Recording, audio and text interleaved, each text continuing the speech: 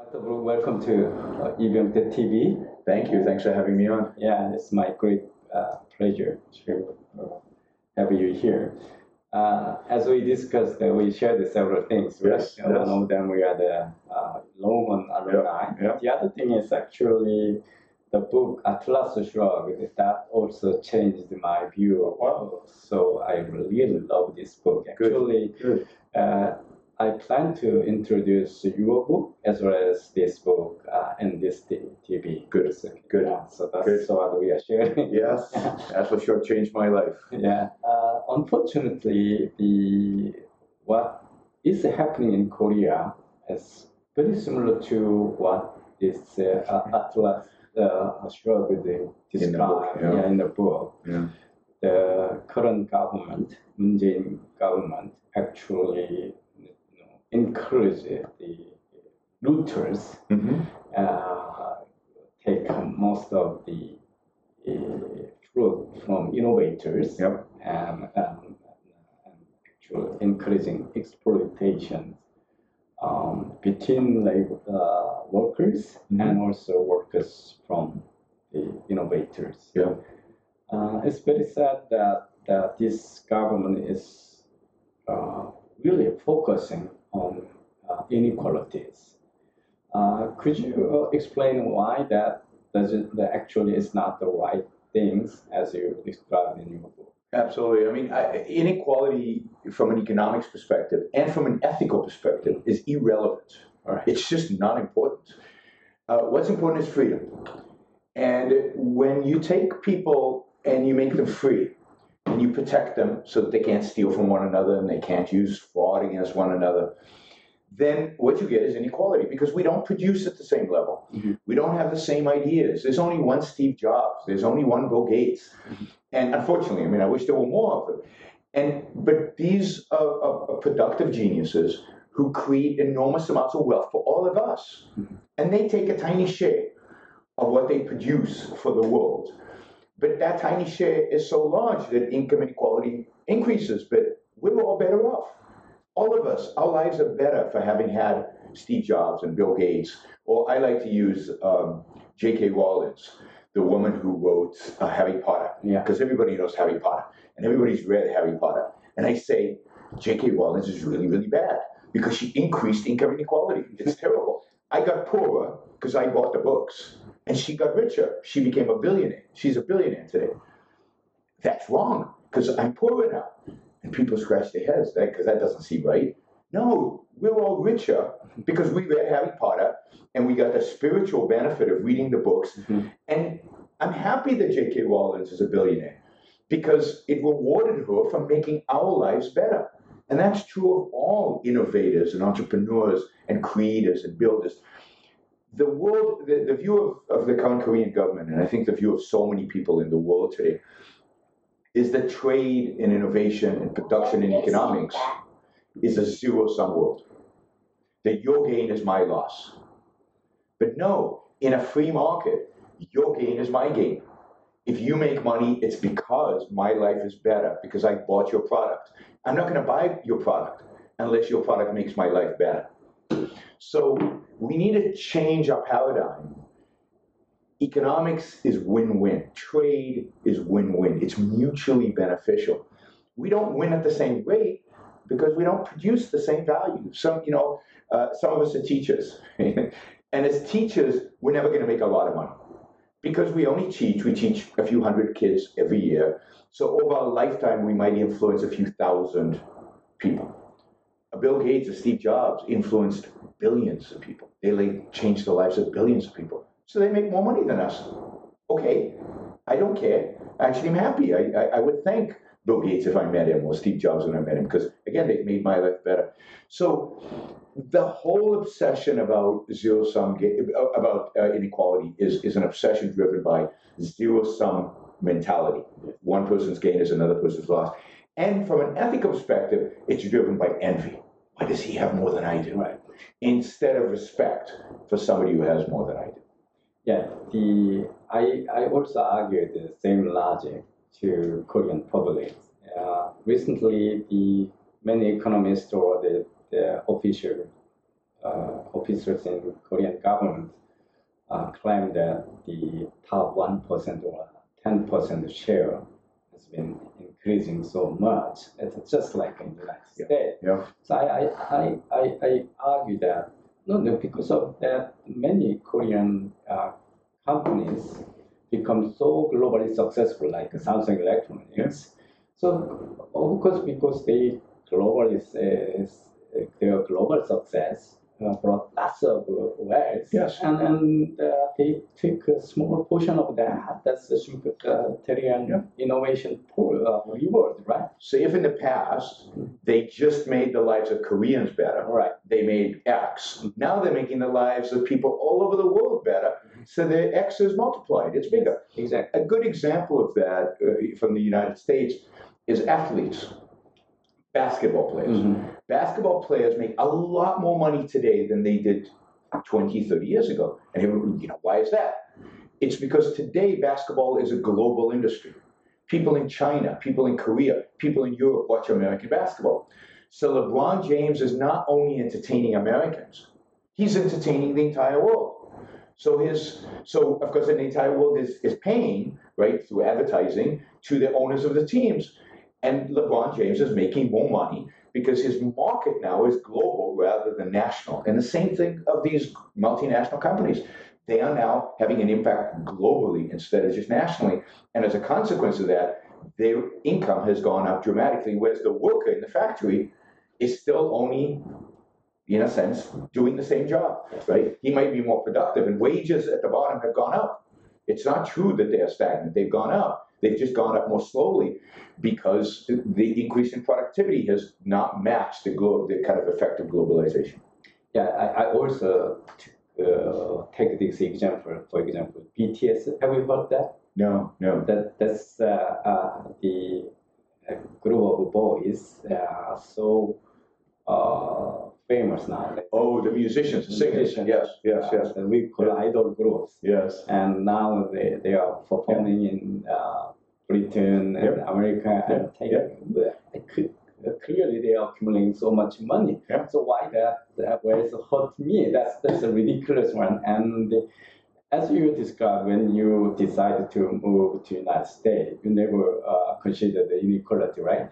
And many defectors from North Korea uh, to to South, uh, they never could uh, actually care about the inequality. They really came here uh, for the economic opportunities, Yes, right? yes. Yeah, and I, I often uh, amazed by the fact that actually the North Korea and South Korea is a good example. Really, economic opportunity matters and uh, economic freedom matters. Yes, yes. Inequality is a natural uh, result of that freedom, right?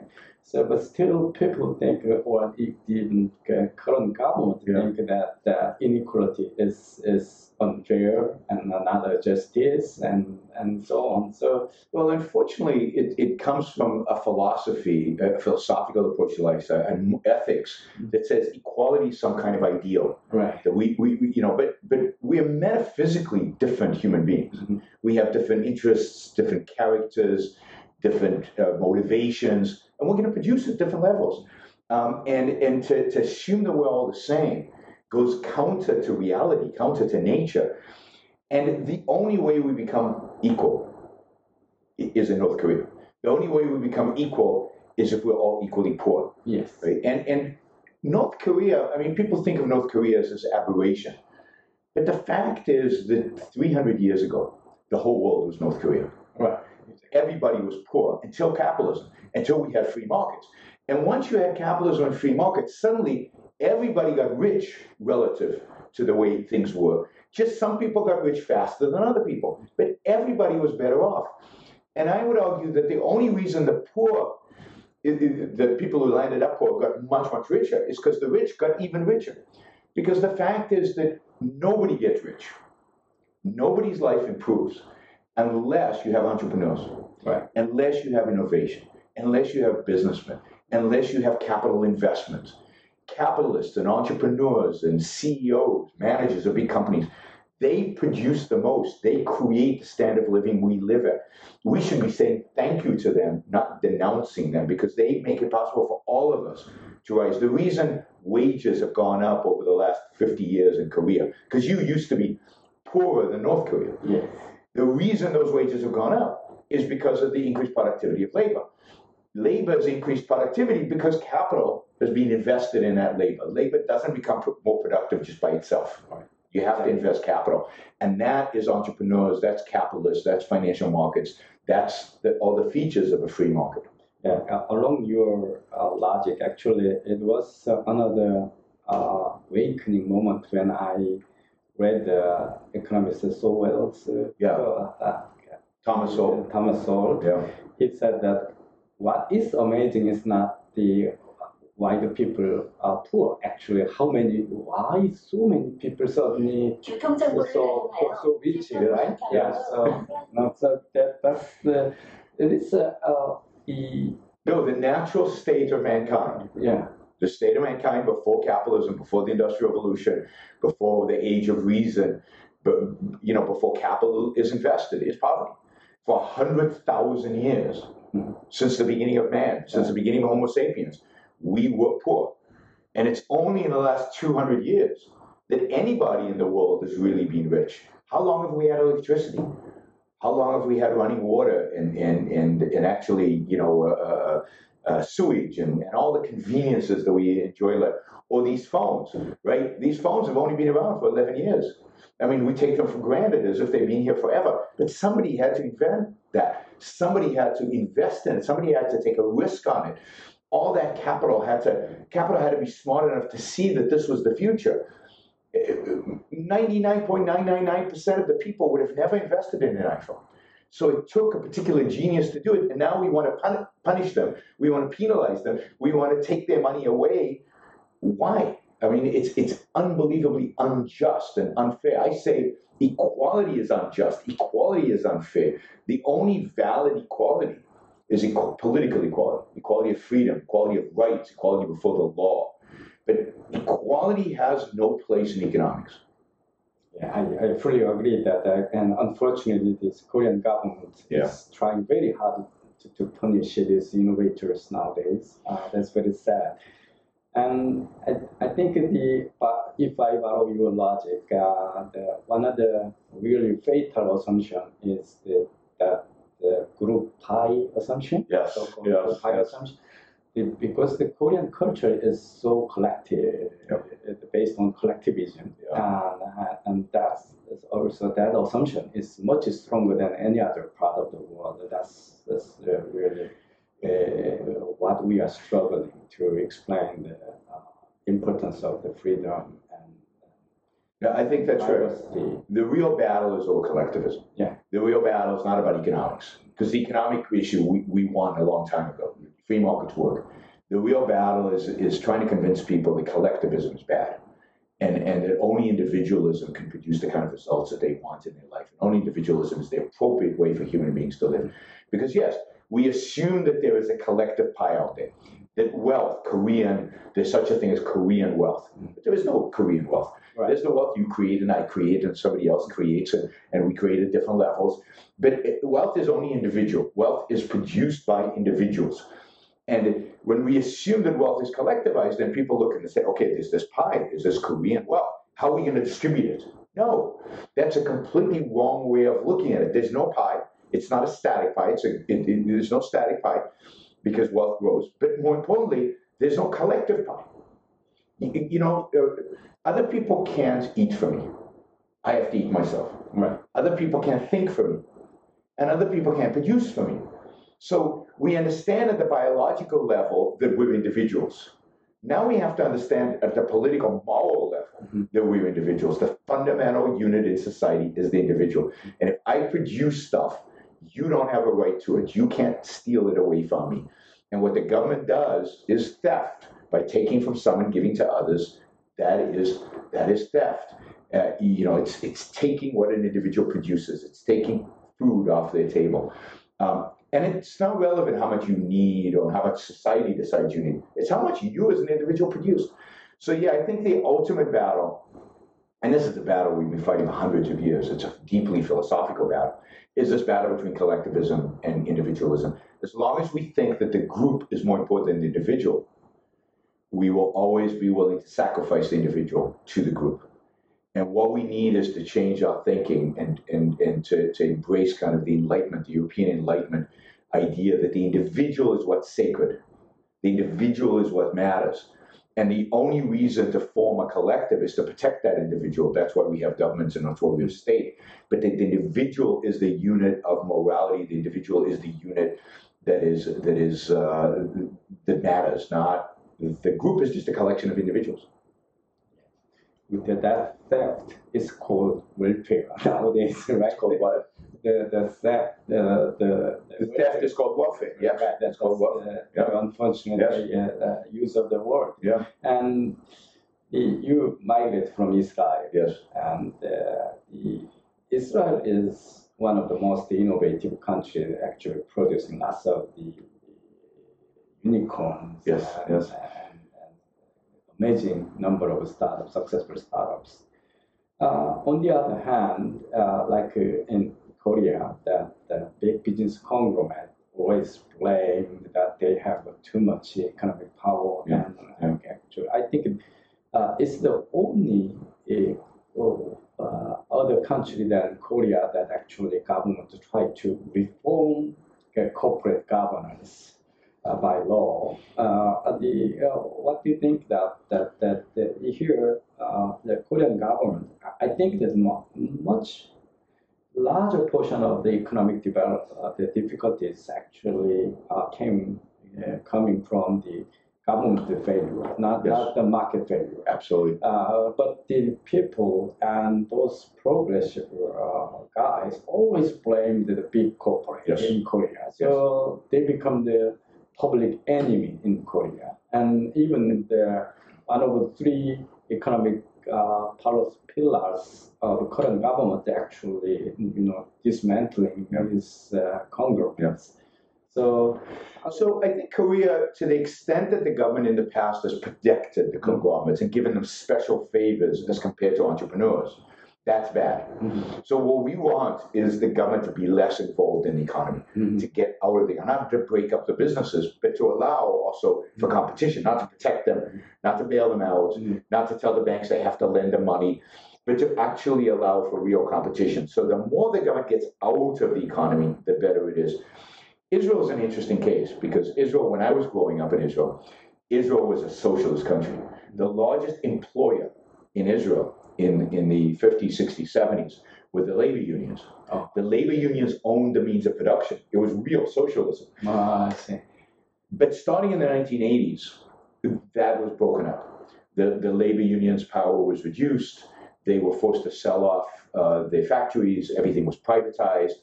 And I think that is a big reason why Israel has become so successful.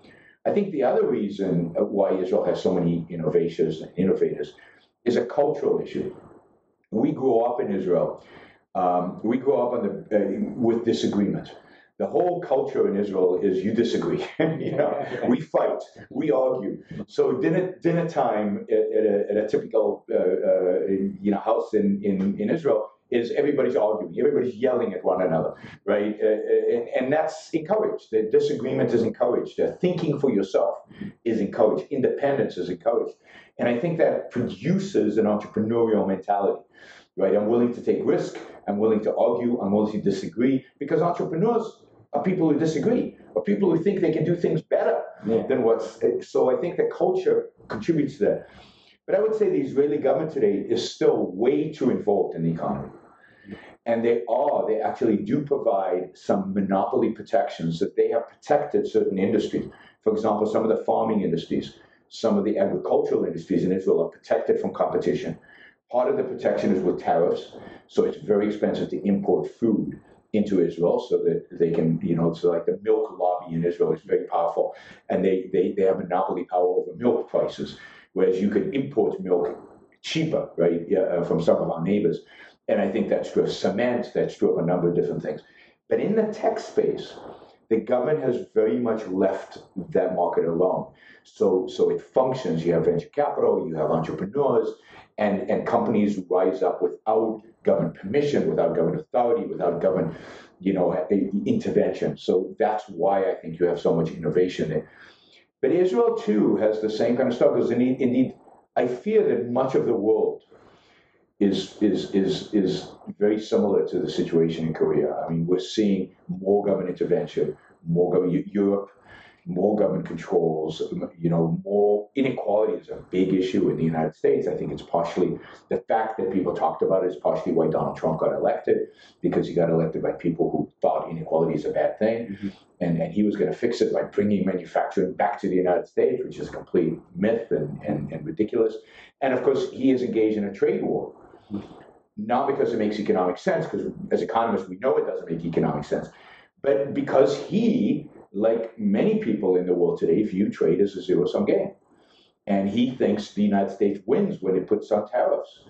Um, so the economic ignorance, I think, driven from the, co- the collectivism and driven from a morality that says we should all be equal, is stunning in the world today. We should know so much better than we do. Yeah, it's not the science, it's not the reasoning, it's, the myth. Yes, and, yes. And also, uh, many politicians actually do such a, take such courses because it gives it gives them power. Power. Yeah, so they encourage the mythology, they encourage the lie yeah. because it gives them more, more control. Uh, even the many scholars, uh, left-wing scholars in Korea, actually uh, spread such myths and fake news, yeah. and sometimes. Yeah uh, extremely distort the facts. So what I, I have been doing is actually pointing out that, that their claims are not based on the facts Good. Uh, and, Good. and uh, business logics. So uh, could you uh, uh, explain what your institute and Land Institute are doing? Yeah, I mean, the Ayn Rand Institute is basically there to promote the ideas of Ayn Rand. Mm-hmm. It's it's to you know she died in 1982, mm-hmm. and the institute was founded in 1985 to continue her legacy. It's to get people interested in her ideas. I think her ideas are the most important ideas in the world today because mm-hmm. not only do they deal with the political economic level, but they they create the moral and philosophical foundation for freedom. And I think that's where the disagreements really are deep. Mm-hmm. It's in, and I think they, it's the fact that, that people believe in a false morality and believe in collectivism. Mm-hmm. It's why they are willing to accept these false, ridiculous ideas in economics. So we have to challenge that. And my view is Ayn Rand is the only thinker that can really challenge these fundamentally collectivistic ideas because she has a philosophical context. So our institute is there to promote these ideas, whether it's to get people, particularly young people, to read her books, because mm-hmm. just like our lives were changed by Atlas Shrugged, you know, I'm hoping that millions of people's lives will be changed ultimately by Atlas Shrugged and then to to you know use her ideas to comment on current events to show people how applicable they are how relevant they are to the current debate mm-hmm. and we also teach her philosophy so that we can train future intellectuals so there will be future thinkers future economists future political scientists future historians who can use these ideas of individualism and reason and reality and, and, and rational self-interest to explain the world to, to the public and hopefully bring about real cultural change. Because I, I think politics is downstream from culture, mm-hmm. but culture is downstream from philosophy. What matters are the philosophical ideas people hold. That establishes a culture, mm-hmm. and the culture we get the politicians we deserve. Mm-hmm. I mean, it's sad, but Korea deserves these politicians, and Israel deserves it, and, and we, I guess, in the United States, we deserve Donald Trump because we have a culture that fits their, their personality. So we have to change the culture, and this is why it's hard work. Mm-hmm. It's why these kind of videos are so important, and the work you do is so important because you're trying to change the way people think about the world. You're challenging the status quo. You're, you know, and, and that has to be done if we're ever going to change the politics. Yeah, my institute actually have been using a lot of material from FEE. Yes. And, and also yes. Heritage Foundation. Yes. And maybe Cato. Yeah, Cato. Yes. And uh, CAVEX from uh, Britain. Yes, yes. So uh, please let me know the, what uh, what kind of I guess, specific activities and material you have. Then we. I love to. Good. I mean, I mean that idea. And your viewers could go to aynrand.org, a y n r a n d.org, and of course I have a I have a podcast that I do three, four times a week, uh, whenever I have an opportunity, uh, and uh, I try to talk about these ideas and, and try to spread these ideas. So uh, just look up my name at Google and, and go YouTube, and you can find you can find my my, my podcast. Uh, but but yeah, we produce a lot of content. Ha- happy to share that content with you, and uh, uh, and, and all those organizations are, produ- are doing good work. Mhm. Uh, and again, that is all the economics layer. What we're trying to do is is is is present kind of the philosophical layer on which it all rests, mm-hmm. which I think is what Rand's job is. And until we change people's attitudes towards morality, towards collectivism, towards their own life, in a sense, it's hard to do the economics.